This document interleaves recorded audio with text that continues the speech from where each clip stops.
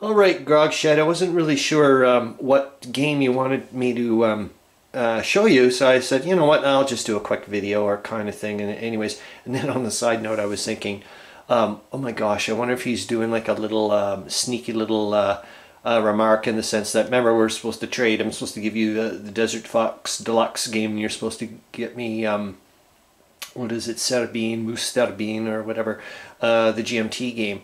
And I was like, well, maybe he's just doing that. But anyways, I was like, oh, I'll just do a quick one here again. I've, I've done one before, but well, why not? Um, and yeah, I guess you would call it somewhat thematic. It's still an ongoing process of putting some things in. Like a lot of, uh, I didn't want to put in put in any more uh, games on the wall. Uh, I wanted to keep as much white space as possible, but I'm like, yeah, screw it. Uh, I'm gonna, well, you'll see what happens. What I mean by ongoing, I'll try to, yeah, I'm supposed, I can do this. I keep forgetting that I can adjust the, there we go, so I can see what the camera can see, kind of thing. So yeah, this is I would call my bottom shelf. It's more like the non, um, you know, like a game I'd pull out with just anybody kind of stuff or whatever. If not, like not going, on, I don't want to play a war like a war like I want to play the Battle of Lord knows what's kind of thing. Uh, that type of thing. Um, I didn't, like I said, still to this day, it's still freaking me out that there was an there's an actual board game of Patoli that could have been purchased back in the day. Um, yeah, I like I made up my own. I didn't know you could actually purchase one. I was just like, whoa. Uh, and then I've got, sorry, I'll pan back here.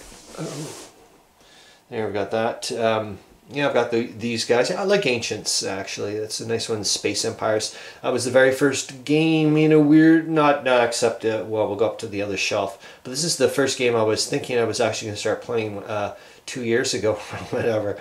Yeah, it would have been two years ago because I took my first two months off or whatever. I went nuts. It was the first time I'd ever done something like that for a long, like, during the pandemic. While they had to give me a lot of uh, time off, I had to work um, during the, pan I didn't get much uh, time off kind of thing at that time. Anyway, so there we go. And then we go into this uh, shelf, games I have not played, but you know, I wanted to pick up kind of thing at the time as Empires of the Middle Ages. It's the, the newer version. I don't know if it's any. This is the print and play thing I got. I've, I think I've done an unboxing or a revealing of uh, the one I did when I was um, talking about custom game bits and whatnot. And what a great job I think he did of uh, uh, the Hollandspiele game uh, for Horse and Musket, Dawn of an Era, which I absolutely, I really enjoy. Um, I still have to print out the new uh, the new counters and whatnot, but uh, that's that. The Battle of uh, Blenheim from or Blenheim um, from Legion War Games. I picked that up ages ago based on a recommendation watching um, the Player's Aid um, way back when, when I was starting to get into stuff. And then uh, Charlemagne, I found out about them. And the table battles is kind of like a version after for me, anyways, of pocket battles, which I absolutely adore. Um, I think I've mentioned that before. Know, I really, really like uh, pocket battles. Uh, and the third box is at work. I always keep a, I'm keeping a box uh, at work at all times, just and I just rotate them just on the off chance. You never know. That's what I'm looking at. And then I've got the Waterloo Solitaire, which I have not played yet. And all these games I've also not played at, I've just stared at. Um, but uh, you can kind of see the thematics, whatever. Uh, Siege of Leningrad, um, one of the Minden games uh, thing. I've put counters and buttons on the pages. That's about as close as I've come to it. The, Stalin, the Stalingrad 42 game, which was supposedly going to be, uh, I had it on the table downstairs, um, and it was going to be uh, what Der Weltkrieg turned into for me. Uh, I just ran into a brick wall very quickly with the rules. But when I saw Dad versus Son doing Stalingrad 42, and uh, this was a few months after I'd seen him do it, uh, and I wanted to get a monster game itch uh, scratched kind of thing. And I thought, well, maybe this is the best way for me to kind of do it without getting too whatever. But it was just too much. Uh, it was I just couldn't understand at the very beginning. I was just like, well, I'm putting this away. It, it looked beautiful. It still looks beautiful. Uh, the dad versus son uh, videos for that are just fantastic on multiple levels. That's all I gotta say. Um, it was fantastic. Really, really good stuff to watch and some more stuff uh, I would love to. I really would, uh, yeah, I do want to play the Mighty Endeavor for sure. Intrigued by Cobra. I've played, never played D-Day Quad to its conclusion. I've played uh, abortive games as in other things have happened. I know there's a bazillion problems with the rule. I just, something about it. I, it's just a nice marriage for me of whatever. I like the, even with the, uh, the slippery components and the whole nine yards. Love it. Uh, yeah, and that's another one I probably will never play, and it'll remain there or just get sent, you know, to someone else. So here's the games. I don't know what you were talking about, Grog Shed. So uh, there you go. Uh, go. But um, yeah, and the supply lines of the American Revolution. Actually, that's something I need to play for myself for the mini game very, very soon. There's no effing around. Uh, that's for sure. Uh, and then we'll go on over to here somewhat thematic, not really. Like I said, I've you know I've only got so many shelves and whatever, but I'm doing my uh, what I can. Yeah, I absolutely adore um, Field uh, Commander Napoleon. Great game. Oh my gosh, what a game! I got purchased that years ago, and uh, do not regret a single penny for that. Haven't played Blood before Richmond. Do not have the entire series. Would love to get the entire series. Uh, played a little bit of U.S. Civil War with uh, Rob. I hope we do play it again because it was it was fun. Uh, the little tiny bit we did play. Clash of Giants Civil War. Uh, would like to try it because I need to. Uh, well, I watched uh, Cataclysm now do um, a thing on it, and um, I really, I really, I want to find out more about the command and control again. I want to play it and see it kind of thing. And these things I've got. These are just some Legion War. No, those are the Revolution games. Um, these guys. And I guess I can now put the them on the uh, shelves. That's what I'm starting to do with some of all these extras that I have on the shelf. But uh, hold on. And World War One, I, I have I didn't play it to its conclusion, but it was uh, one of the very first games I played uh, two years ago when I started up, and uh, and um, not whatever. And I watched uh, darn it. Um, um, Stephen Dolges do a really, really good job on that an extended playthrough videos and all that uh, whatnot. So there's another, there's uh, I guess my holy grail game of something I would like to play at some point. I really want to play that someday. Um, like that's, yeah, that's just so, like, oof. that's like retirement kind of thing. I just don't want any, whatever. So yeah, just, uh, I've been also on a Tannenberg kick at one point. I was trying to get every freaking, I think I may have actually every, uh, game where the Battle of Tannenberg is in at some point. So, and then go on to my little whatevers here. So you can see that. I'm sorry if there's glare. Yep, uh, I have not played Rogers Rangers. I played Campaigns of Montrose. I enjoyed it. I have not played Vikings. I watched uh, Centurion's review talk about it. I've not played Lettow-Vorbeck. I'd like to. Uh, Southfield, there's another one I want to play. Uh, Sticks and Stones, I've been trying to adapt a miniatures game so I could do uh, for CanGames. Uh, no Retreat, I picked that up actually at CanGames ages ago and just have never played it. And then we'll go off into my. Uh, oh, yeah, you want to see this? Still there, still sitting there. It's only been one turn that's completed, but still sitting there.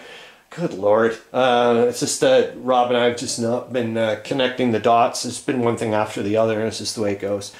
And uh, yeah, this thing, I cannot begin, I'm so ultra, actually I have the new rule systems for all three. Now uh, I should try, uh, I want to uh, play uh, the Masurian Lakes one uh, scenario. It's a nice, very, very tiny scenario. Um, you know, I mean, maybe not so good if you're the Russian player and you're, and you're a very offensive-minded player because you're not, not going to have a lot of fun that way. But yeah, I like it. It's it's quite a yeah. I really enjoy that game. This is mostly my CSL stuff. There, as you can see, there was over some over there. The uh, the uh, the operation, uh, the World War II Deimos ones he has and whatnot, and some more like. So now I can extend, and you'll see the ones I'm about to extend. But I'm going to go through all these things. I haven't even played any of these, but you'll see who I've got. Hold on, I'm going to move my thing so I can see what you guys can see. I keep forgetting about this. So, yeah, I'm right up against the table. So. Yes, that is a game I saw uh, play, uh, Warsaw 1920, and it looks so intriguing. Ironically, there's a Kerry Anderson game that uh, um, Mannery Mike did a compare contrast. Not that game, but he did a compare contrast. Uh, he was doing the Clavius uh, one there. But, uh, some more Tannenberg stuff, of course. And uh, so you can see I've got a lot of blank space here. Gosh almighty, I really need to learn how to use these bloody uh, camcorder thingamajigs.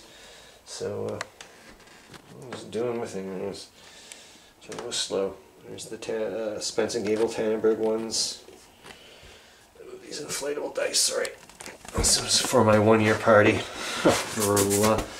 bloody hell, I'm so freaking delusional.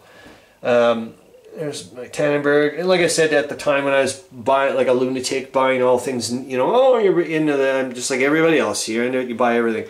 Um, um, well, I was like, holy Lord Lifton, these things are pretty darn affordable. And I'm sorry, but they're great looking pictures uh, for the most part, especially the World War One ones. Look at that. I mean, come on, man. That's just lovely. I wonder if that's that Canadian. No, I don't think so, because he did mostly horse stuff. So I gotta start. Uh, I'd like to find out who did that one though. Um, so there we go. Uh, yeah, I think I've. Uh, no, I don't have every single World War One folio uh, by Decision Games because I don't have the uh, Falklands and the Coronel Islands or something like that. I don't have that one. But, and then I have uh, uh, uh, uh, downstairs, um, the big the big push. You know, pan out again. Sorry. I've got these guys.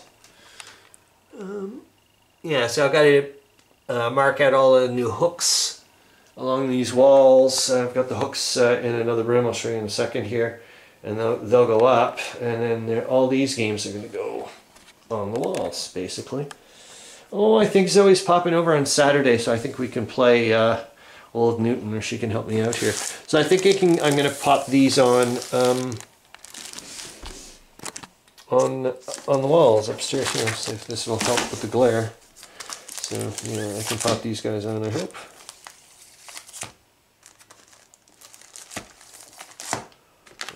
Most of you guys have seen these before, so a lot of these are recent acquisitions uh, from CanGames when I was like, oh my Jesus. And they kept saying, the vendors like, hey, I found another World War One thing. I'm like, yeah. It was nuts. What are you? Oh, shoot. Well, hold on. Red Typhoon. Okay. What did I have him? Oh, yeah, because we were doing a live stream, I guess, and it was uh, um, or maybe, did you fall down and I had to redo your hook? I think that's probably it. Yeah, it these dollar store sticky things suck on my tit, so I have to uh, use um, crazy glue. Hold on here. But all many of them were affixed before I found that out, so now it's like these random days where you hear kaboom.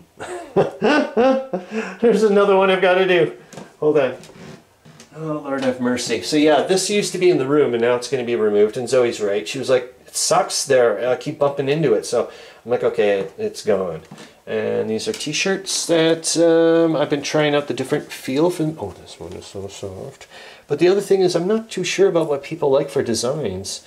So this one's a weird, weirdish front, I guess. But my God, it's soft. And I guess, are these the normal? The normal look? Is that that? I don't know.